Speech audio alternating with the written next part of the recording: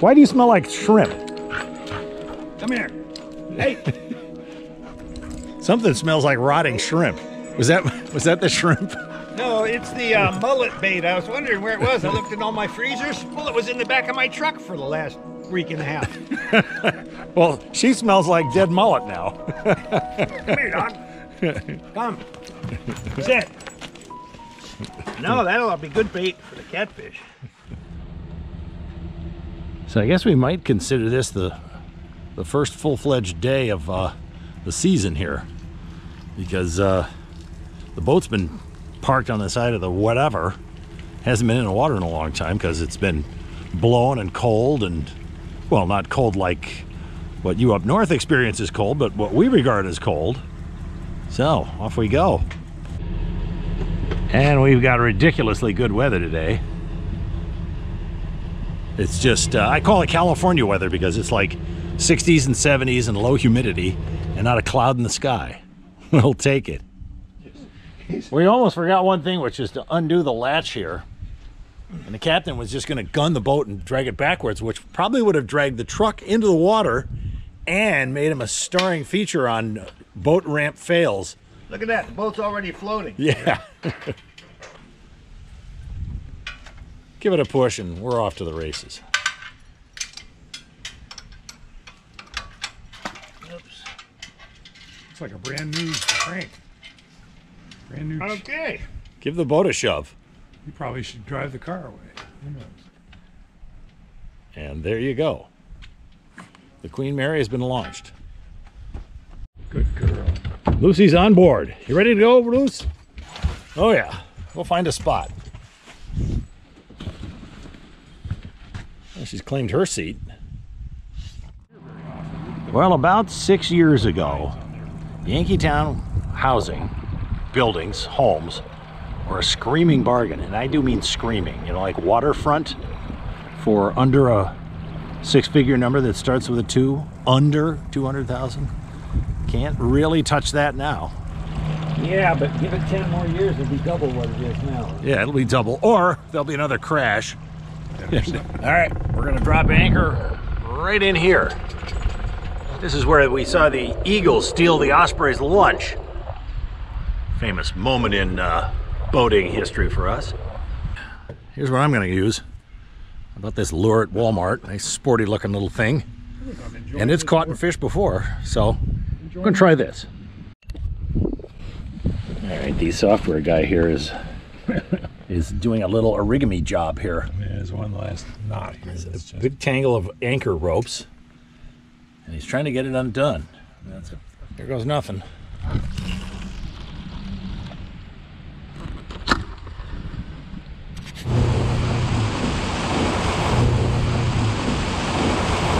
well, this time I'll We've moved, right, Lucy? New spot. Well, we're out here at the uh, Spoils Island, also known as No Fish Island, for a change of pace, the open Gulf. See what happens. I'm gonna catch them now. I got bites. Fish bites. Those little things that look like bubble gum, but they catch fish. Supposedly. Success! It's one of those little perchy things. Well, those would make great bait if we were out in uh, deeper water. Right. We caught a fish. Well, he caught a fish. you caught it. We watched. A double. I got a trout. Whoa! Get too Look at close. that. What do you got on there? Just a, A trout and uh, one of those little perchy things. Head, red jig head with a fish bite. Don't eat him there. Wow, that's a nice looking trout. Not quite a keeper, but nice fish. Look at that guy.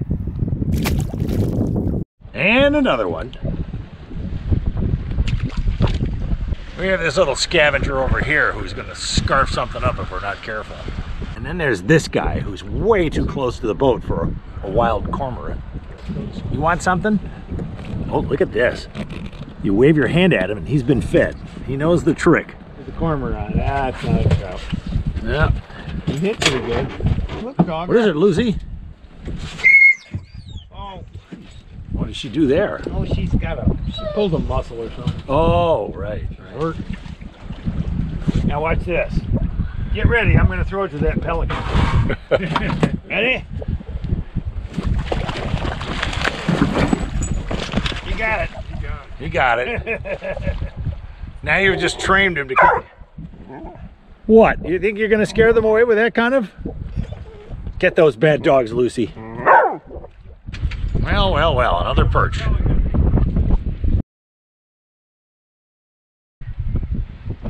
All right, this happened way too quick. Whoa! No, stay back. no, no, I, I, am trying to get my camera running. Nice trout. Where's the Where's the measuring device? 13, 12. All right, he's 13 inches, so he's going back. Now, I gotta fool that guy. Ooh, it goes that way. Go. Fooled you. I, I gave him a, a head fake and fooled him completely. Good for me. The captain is just reeling them in one after another. If he were a trawler, he'd be pulling perch in left and right. And somebody wants them. We had a little excitement here. We tried to anchor on No Fish Island, and the wind was so heavy it blew the blew the anchor out of the sand. And I had to grab the helm here because off we went. And now we're coming back to pick up the captain who's been fishing on the island here. Okay, so here's the interesting conundrum of this trip. I know it's not a conundrum. Here's the interesting factoid of this trip. There are three of us here, and as you may have noticed, nobody's wearing a mask. And why is that? Three people on this boat have had five shots, which means someone on this boat has only had one shot. So they're only 90% immune to the plague. Who would that be? Would it be you? No. would it be the captain? Has he had his two shots? I don't care, I'm not afraid. I die when I die. That's what everybody says. Well, I'm not ashamed to say I've got one shot. Number two is tomorrow. And I go from 90 to 100. So I'm going to go over and kiss the greeter at the door at a well known discount uh, department store area.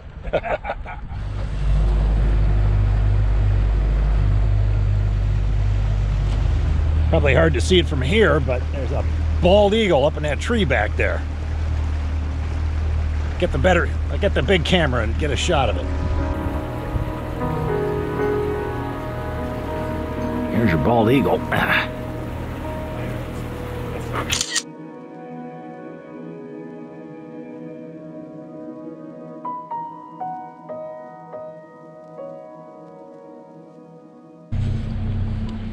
Well, as we head back in, someone has jumped into his lure collection. Oh, and you're showing off all your $25 Yeah. lures.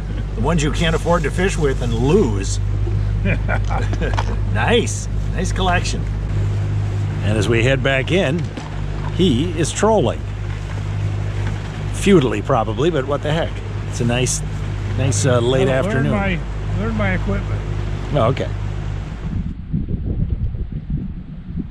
A lot more peaceful right here than out there in the out in the boat channel where we're fighting the current and worried about getting run over and everything.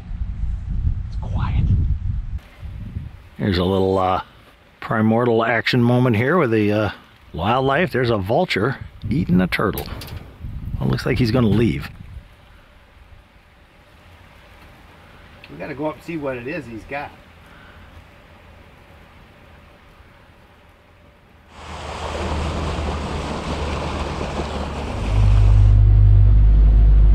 You have a good day, Lucy? Yes, you did.